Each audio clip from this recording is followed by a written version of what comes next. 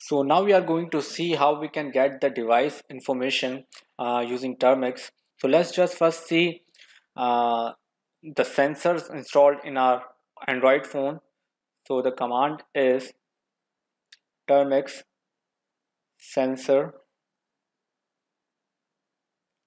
and let's just do hyphen h to get all the options so these are all the options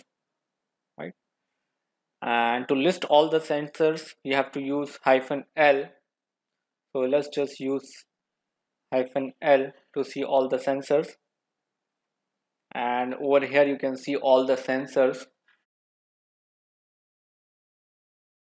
uh, which are installed in this Android phone. So magnetometer, gyroscope, and all the other sensors you can see. Right, let's just clear out.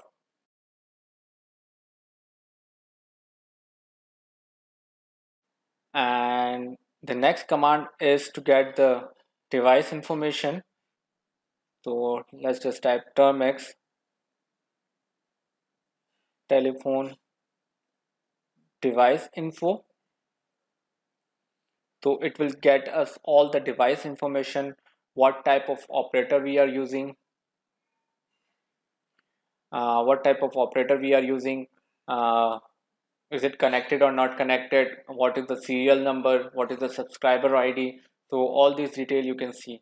I'll make those things blur for the security reason but using this command you can see all those details right? The next command is cell info. Uh, so this will show us the cell information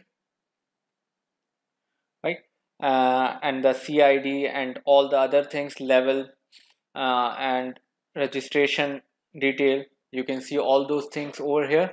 I'll make these things uh, blur as well. Uh, so you can use these commands to see uh, the details in your Android phone. Uh, but for the security reason I'll make those things blur right?